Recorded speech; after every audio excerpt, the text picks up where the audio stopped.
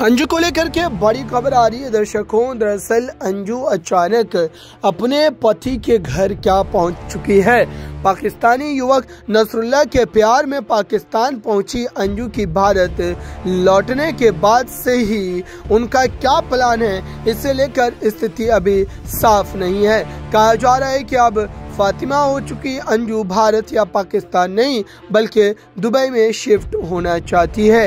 यह भी कहा जा रहा है कि नसरुल्ला जल्द भारत आ सकते हैं। लेकिन आपको बता दें दर्शकों, इस वक्त की जो बड़ी खबर है, वो काफ़ी ज़्यादा हैरान करने वाली है, क्योंकि अंजू अपने पति अरविंद और दोनों बच्चों से भी मुलाकात कर चुकी है। अब ऐसे में घर पहुँचने के भी यहाँ पर कयास लगाए जा रहे हैं और घर पहुँचने के बाद वो फिर से एक बार आम ज़िंदगी जीना चाहती है, जिस तरीके से वो पहले रहा करती थी।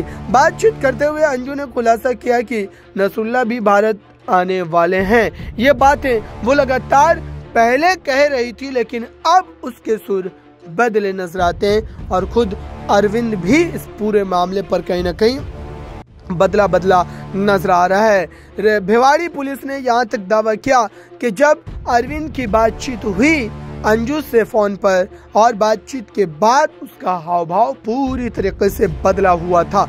अब इसको लेकर के ये माना जा रहा है कि स्थिति और भी ज़्यादा बदलती हुई नज़र आ सकती है, यानी कि दोनों ही एक साथ रहने पर सहमति जता सकते हैं। और जिसको लेकर के पूरी तरीके से आसार यहाँ पर नज़र आ रहे हैं दर्शकों। फ़िलहाल इस पूरे मामले को लेकर के ये कहा जा रहा है कि अब अंजू और अरविंद दोनों एक साथ जो है यहाँ पर एक घर में रहने पर भी रजामंद हो सकते हैं। नेक्स्ट नाइन न्यूज़ रूम की रिपोर्ट।